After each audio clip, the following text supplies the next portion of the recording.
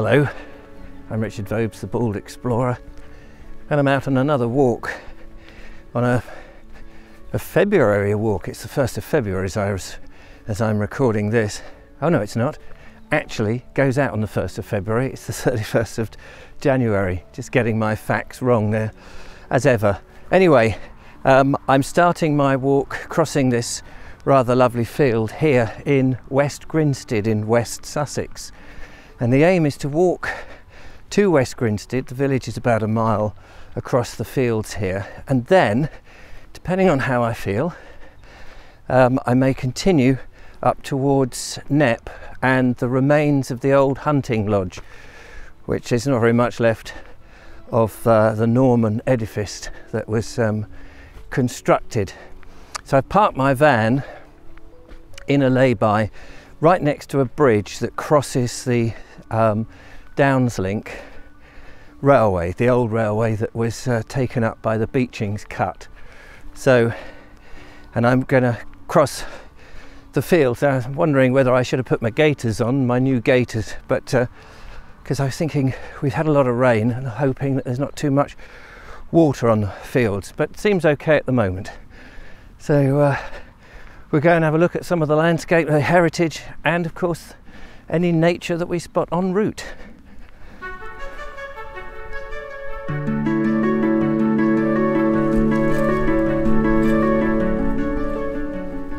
It's interesting because I'm walking first to the church at West Grinstead and we'll pass that. And I'm going across these these fields as you can see. Of course, these old footpaths most likely originated because the agricultural workers, the people on the fields doing the haymaking, doing the ploughing, the tilling, digging ditches, keeping the hedges um, up to spec, would of course have used these pathways, caused these pathways, um, and maintain these pathways because they would be going to church regularly. And uh, sometimes we forget that that's how these things came about, many of them. The churches would have been a uh, destination I mean, going right back, you know, Saxon times and possibly before to these religious points. There's a gate here that's been left open.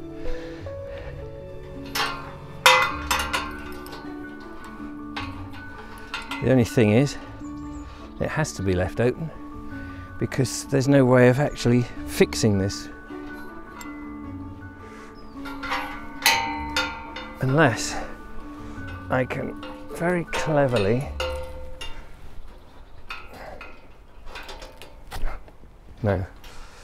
I tried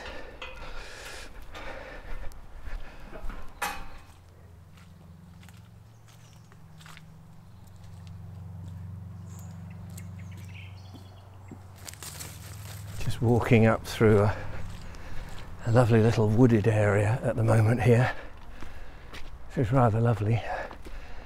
I'm not sure that I can uh, go and explore it because often, you know, these footpaths just cross through these areas, so it's probably private land. A little bit boggy in places.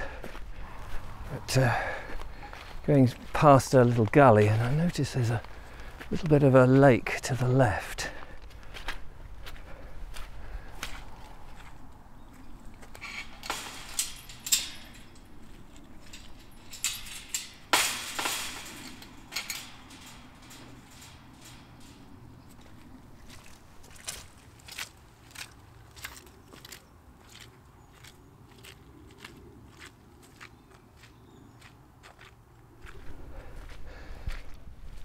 Right, this field is soaking. It's, the water is just sitting on the mud. These boots that I have leak, so I've got wet feet. I need to invest. I need to invest. This part of the Weald is muddy, and Sussex, of course, was known for its tall women quite why it was just the women, but apparently the women were tall because their feet got stuck in the in the mud. And as a result they extended themselves just trying to pull their feet out of the cloying mud. This isn't so much fun. But uh, if I just turn the camera around we sort of get to see there's a lovely little horse just here but behind that we'll see in the far distance. Now, I haven't got a long lens for this particular camera, unfortunately. It's something I need to invest in. Um, but we have the South Downs just behind me, about 10 miles or so down the way there. And Chanctonbury Ring is dead opposite. I was walking that way only the other day. So uh, it's amazing how the scenery can change in such a short space of time or distance even.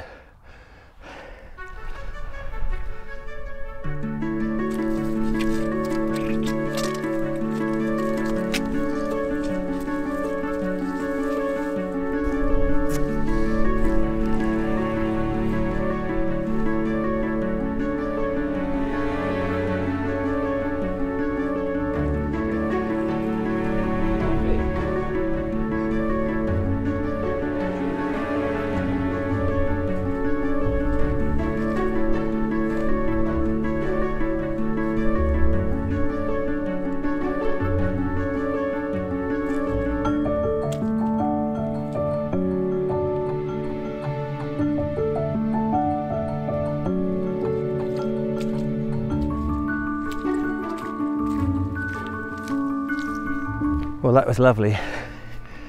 Met this wonderful horse who was in a very small little field with, you know, not much grass because it's winter, I suppose.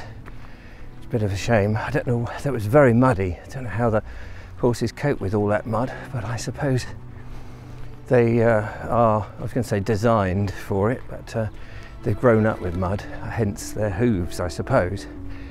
But that was rather delightful. Now, I'm rather surprised that my walk, actually, the footpath that I thought, I thought I was going to be arrive at West Grinstead Church from the south. I've just spotted it over in that direction, can't see it now. Um, and I'm to the north of it, so maybe too busy talking to uh, the camera and you guys and girls that uh, perhaps I've gone slightly wrong. But anyway, I'll still get to the church one way or another. I hope. And it may be just coming up to a road here, so it may be that I go down here, possibly. Signs around here saying keep to the footpath, uh, which I will, of course. So I think they don't want me to go down this way, so we have got to go over here.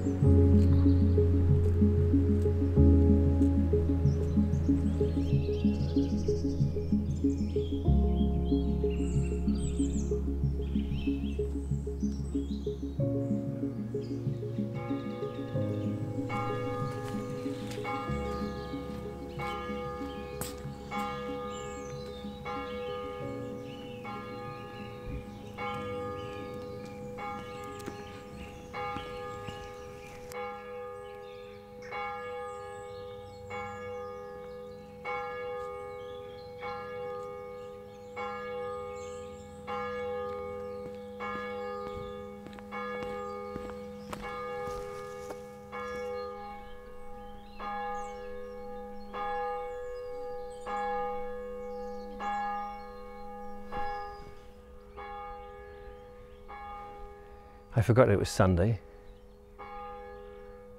As people have come to the church, you can hear the bells there, or the bell chiming in the background.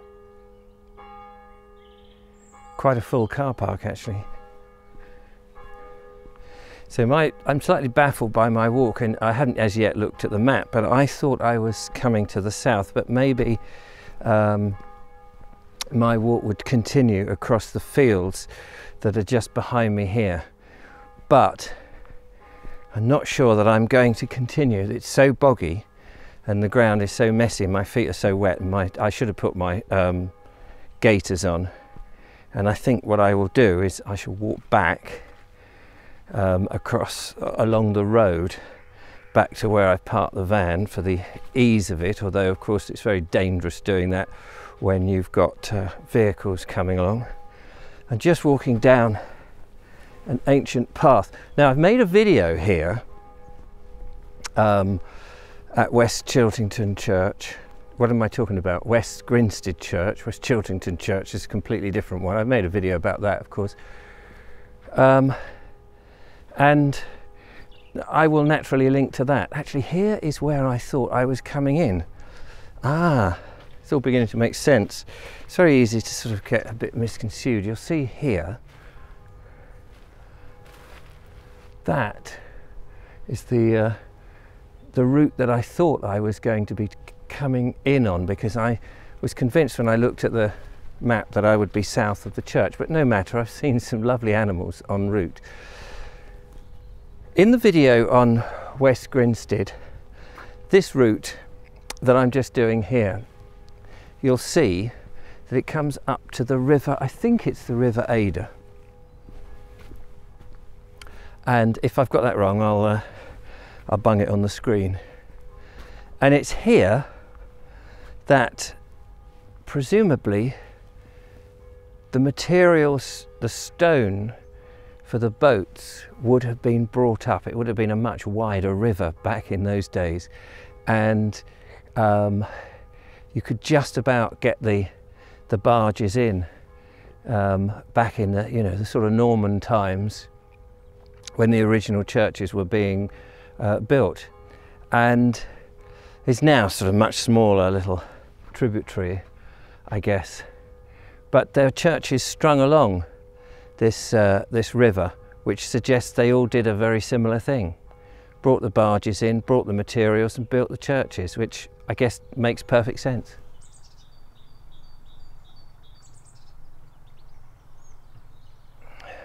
Right, well I'm going to end the walk here.